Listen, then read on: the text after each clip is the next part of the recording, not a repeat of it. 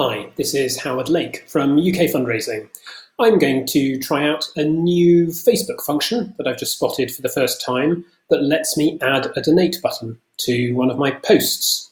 Um, as you can see from this page, it's appeared at the top. I think it's because I've just written a post that is mentioning charities and giving.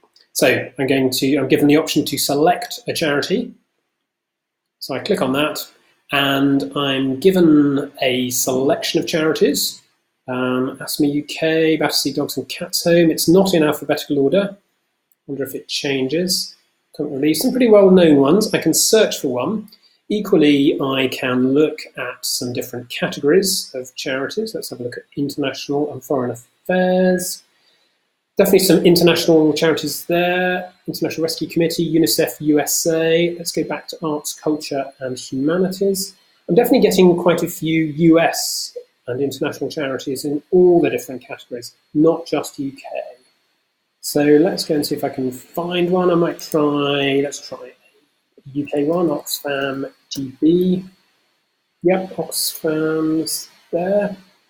So if I were to click on that one, although that's the US, it's based in Boston. I'm going to go for Battersea Dogs and Cats. So I click that one, and then I am given a choice. I can select people that I may want to invite to donate. The more friends you invite to share or donate from your post, the more money you'll raise. Well, that's probably true. So um, I won't invite anyone at the moment for this test, but let's see. There's no button, next button. Um, so I'll just close this, but with any luck, my post has now become a fundraising post with an option. Underneath it, you can see this new box, Howard is raising money for Battersea Dogs and Cats Home, with prompted levels of giving and a donate button. So that's how easy it is to add a fundraising donate button to any post, or certainly posts about giving. So your supporters may well be able to do that now in the UK.